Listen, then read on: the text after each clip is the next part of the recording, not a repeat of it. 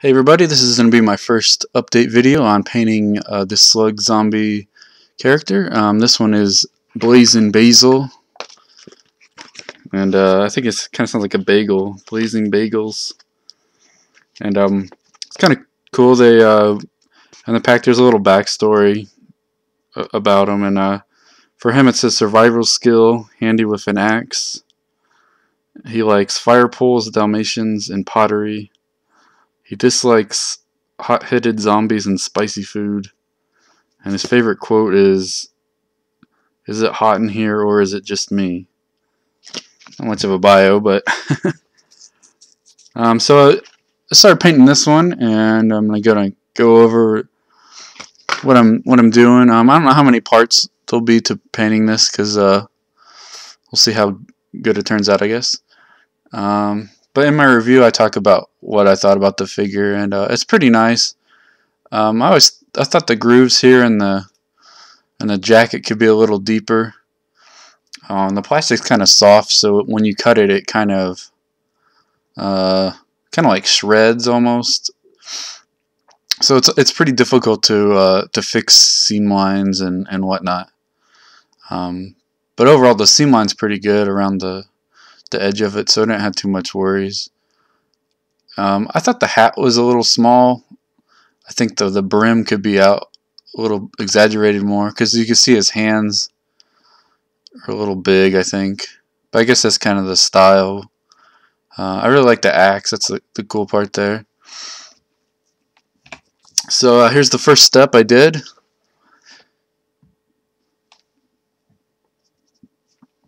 Excuse me there, and uh, yeah, so I decided to paint the this in kind of like a gray theme. Kind of make it more like a post-apocalypse look, I guess, with the with the gray suit here. Um, and the first step here was just a, a real light gray, just to get to see if I really wanted to make it gray or not.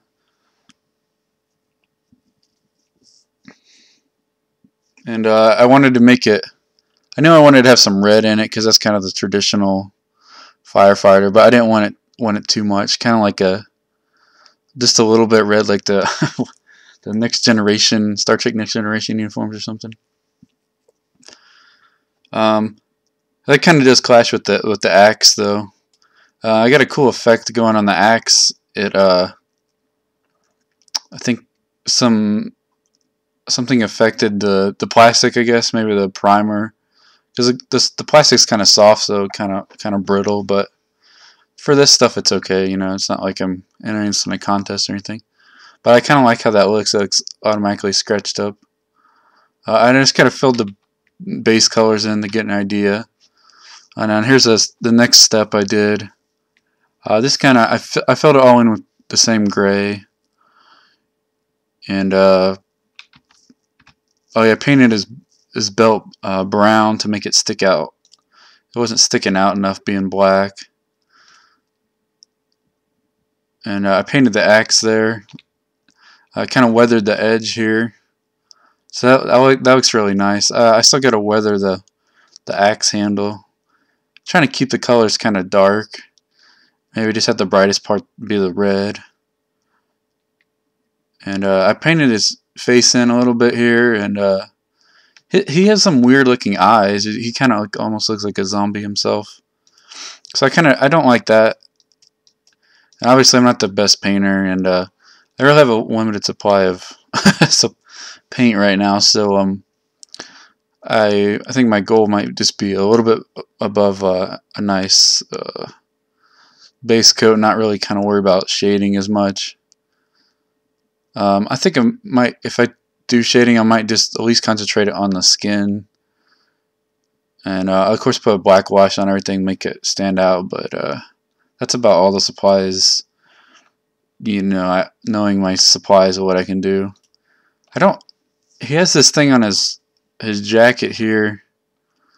Go back here. I don't know what this part is here, if you can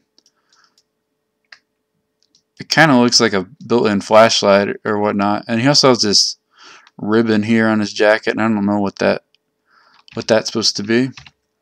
Um, so after that, here's the the latest step I'm on. Um, we'll start here with the axe. The axe looks pretty good. Uh, I set the weather the handle, and um, at the end of it, I think I'm gonna when the figure's all done, uh, I'm gonna like splatter blood on it and some dirt and stuff. But I might wait until I figure out what kind of diorama I want to do. Like just a little diorama. Uh, I painted his, I was painting something else pink and I just painted his fingernails pink. That looks kind of stupid. Um, I think his jacket looks pretty nice. There's some parts here. Really, this is like super zoomed in on my on the figure, but I think did all right on the the seams there. So I might kind of touch that up a little bit. Got to fix some other parts here, obviously. Uh, we decided to paint his eyes over again. Maybe maybe kind of make uh, the eyes bigger to make it maybe look like he's kind of going crazy or something instead of because here before he just looks like a serial killer with the axe. He's supposed to be the hero guy. And uh I don't like his boots too much. I wish there was more detail on the boots, but uh can't do really much about that. Um still don't know what this thing is here. Oh yeah, here's the back. I didn't I didn't show that in the other ones, but uh kind of it's a little messy there for my my hands got on there, but uh gotta clean this up a little bit. I want to make it a little more cleaner. He has a uh, um, oxygen tank there. I wish he had an oxygen mask. I think that'd be a cool addition. Uh, I like the weathering here on, on that part. I kind of overdid it though. Gotta gotta redo that. I think. Uh, might kind of put. I might. I thought about putting some. Uh, maybe adding some little details on his collar here. Maybe stripes or something, or or put like a number, like he's part of a division or something. Maybe the same thing on the the tank there. I also might put something on the axe, like a. Uh, I don't know, something zombie related. If you guys think of anything, let me know. I kind of just roughed in his, his head there, so. Yeah, but that's all I got so far on this one. It's looking pretty good, I guess.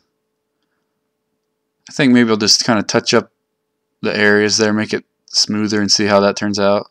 I'm not too crazy about the figure because I, but uh, I don't know. There's there's some challenge there definitely with what I have, and um, this this picture makes it look better because I, I did the lighting better. But uh, kind of my goal was to make it like if I just ended there, I'd be pretty happy. But uh, that's an update on this one. I think I'm gonna take a little break on uh, painting this guy. Maybe somebody will uh, comment, let me know what you guys think, and um, see you guys next time.